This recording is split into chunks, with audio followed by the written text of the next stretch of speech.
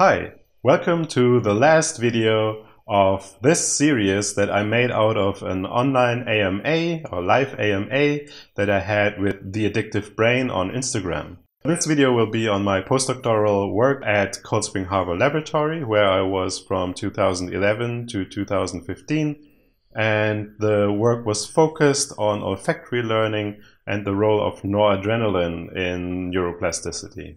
The idea is that mice learn the identity of other mice through their smell. We wanted to know where in the brain olfaction and olfactory memory begins and how it, how it happens.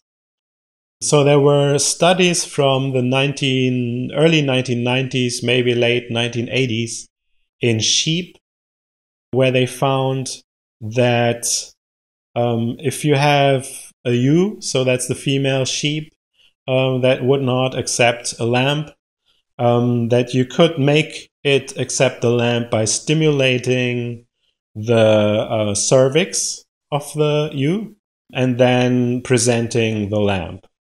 So that's kind of a weird thing uh, that you have to stimulate the cervix for that. So, but they already know that this recognition in lamps too uh, lambs and sheep too uh, is based on olfactory learning.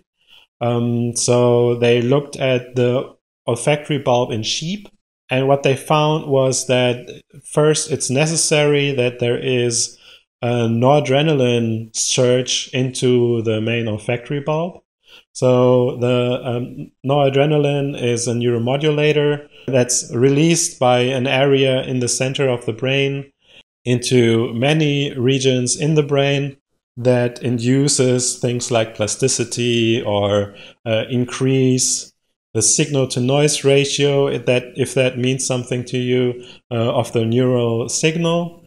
Um, basically what that means is that there are easier uh, signals are easier to differentiate for the for the animal uh, if there's noradrenaline around so we were interested in the neuroplasticity part of it. And the question is now where in the main olfactory bulb do we have these changes? The, the way the signal is transmitted through the main olfactory bulb is uh, you have the receptor neurons in the nose, and they would send the signal through their axons into the main olfactory bulb. Um, and then onto so-called mitral cells. You don't need to remember the name. But these cells would then send the signal further uh, to the cortex. And when my then advisor was a postdoc, he found that noradrenaline release during presentation of an odor would change the response of these neurons to that odor. Uh, so that's basically learning his his um, thing was to do electrophysiology in the main olfactory bulb from these mitral cells. Uh, and he would present an odor for a couple of times just to see a baseline, uh, to have the baseline response of these neurons.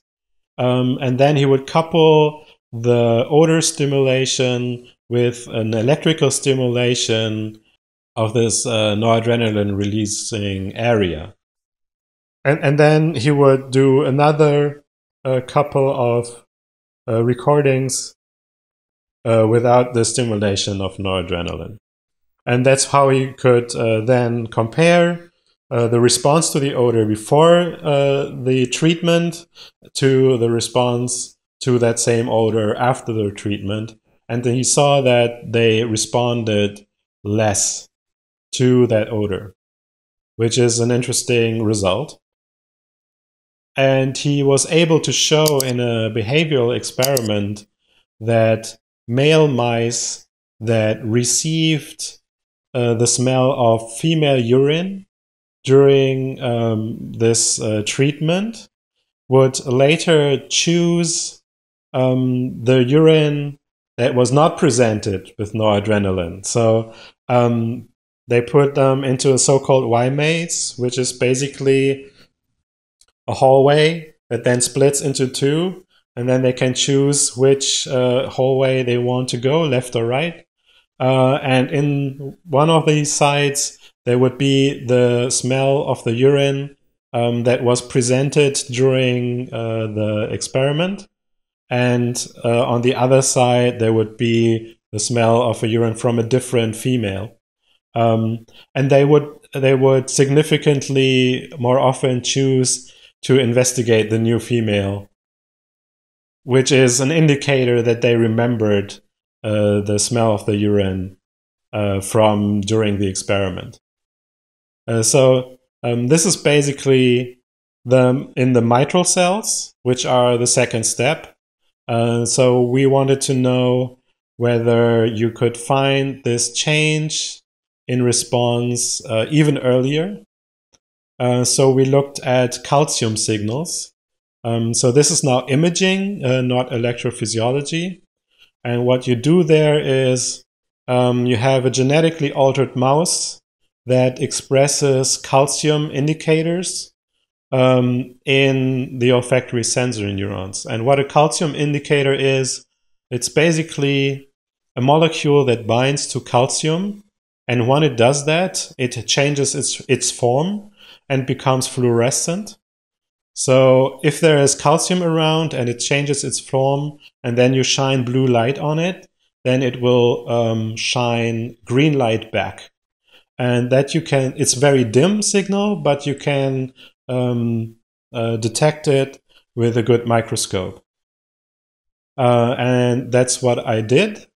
Um, the good thing um, about doing this in these so-called uh, olfactory sensory neurons, which are the first neurons to pick up the, the chemical signal from the smell, um, is that they all come together in and send their axons in very large, uh, relatively speaking, uh, neural structures. So you can choose a very large field to look at uh, and still recognize the different uh, odor responses.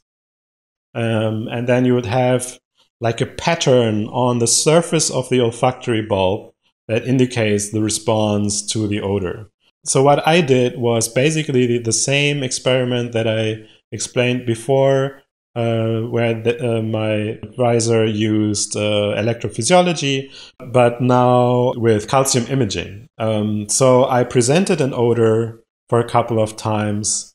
Uh, and then I would do the stimulation of the noradrenaline releasing system uh, during odor stimulation. And then I would do another a couple of imaging rounds uh, to see whether there is a change between the activity before the treatment and after the treatment.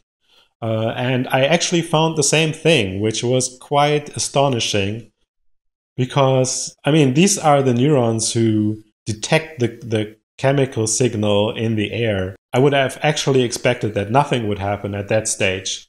Um, but th this was quite astonishing.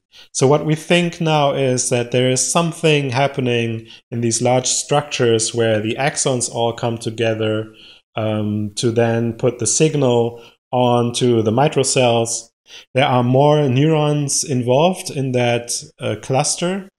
So it could be that they actually change the signal in the axon before it reaches the mitral cell. Um, so that that was that's quite fascinating.